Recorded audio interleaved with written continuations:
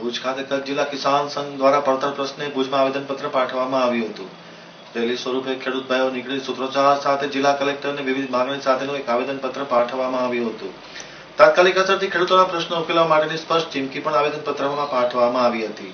ભારતીય કિસાન સંઘ કચ્છ જિલ્લા દ્વારા આજરોજ લાંબા સમયથી ખેડૂતોના અણુકેલ રહેલ પ્રશ્ન અંગે રેલી સ્વરૂપે નીકળી આવેદનપત્ર પાઠવવાનો કાર્યક્રમ યોજવામાં આવ્યો હતો, જેમાં ભુજ સહિત જિલ્લાભરમાંથી ભારતીય કિસાન સંઘના ખેડૂત સભ્યો મોટી સંખ્યામાં ઉપસ્થિત રહ્યા હતા. ભારે સૂત્રોચ્ચાર સ્વરૂપે રેલી કાઢવામાં આવી અને જિલ્લા કલેક્ટર કચેરી પહોંચી સૂત્રોચ્ચાર સાથે આવેદનપત્ર પાઠવવામાં આવ્યું હતું. ભારતીય કિસાન સંઘ કચ્છ જિલ્લા દ્વારા કલેક્ટરને પાઠવવામાં આવેલ આવેદનપત્રમાં સ્પષ્ટ જણાવવામાં આવ્યું હતું કે કિસાનો કા अनुदान किसानों के खाते में એ ઠરાવનો ચુસ્ત અમલ થવો જોઈએ તદુપરાંત નર્મદાનું પાણી જરૂરિયાત મુજબનું ખેડૂતોને પિયત માટે આપવાનું રહેશે અછતની સ્થિતિમાં ખેડૂતોને વીજ બિલમાં રાહત આપ- આપવી અને ફિક્સ ચાર્જ નાબૂદ કરવી તેવી પણ માંગણી ઉચ્ચારવામાં આવી હતી સાથોસાથ પાક ધિરાણની લોનમાં વ્યાજ સંપૂર્ણ માફ કરવું અછતની પરિસ્થિતિમાં ખેડૂતોને પાક વીમાની રકમ તત્કાલ ચૂકવી આપી ખેત વપરાશમાં આવતી તમામ ચીજો ઉપર જીએસટીનો દર નાબૂદ કરવો ખેડૂતો અને પશુપાલકોને પોષણક્ષમ ભાવ આપવા, રીસર્વેની કામગીરીમાં છતીરેત પરિપૂર્ણ કરવી વગેરે સહિતના પ્રશ્નોની રજૂઆત કરવામાં આવી હતી. કલેક્ટરે આ તમામ પ્રશ્નો શાંતિથી સાંભળી, યોગ્ય કરવાની ખાતરી પણ આપી હતી. આવેદનપત્ર પાઠવવાના કાર્યક્રમમાં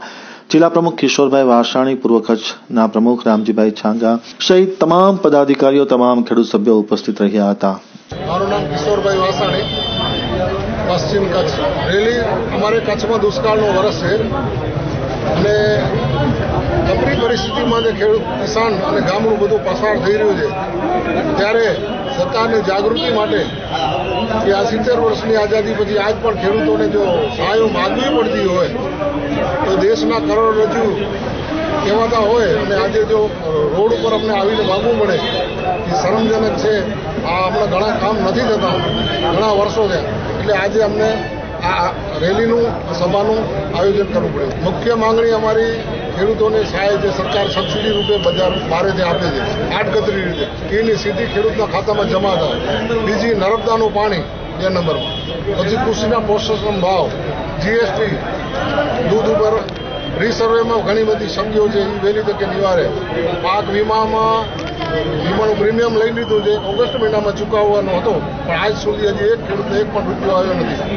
બે બે વર્ષ પહેલાં જે વ્યાજ લોન ઉપર વ્યાજ માફીની ઘોષણા કરી છે. હજી કચ્છના ખેડૂતો એક પણ ખેડૂતના ખાતામાં વ્યાજ જમા થયો નથી. કિસાન સંઘને પ્રશ્ન આવ્યો છે અને એને લીધો છે કે ખેડૂતો એમાં શું કે ભ્રષ્ટાચાર થાય નહીં, એના માટે જાગૃત રહેવું પડે. એમાં હવે શું કે બહારના ખેડૂતો હોય, એમાં નક્કી નથી કરી શકતા. એટલે એમાં ખરાઈ કર્યા પછી જે પણ કામ આવશે, યાદ કરી શકે